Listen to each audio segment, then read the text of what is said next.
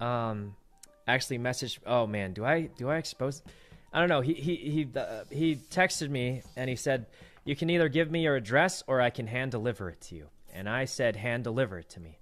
Um, is that weird? Probably not, Right. right? Oh, already.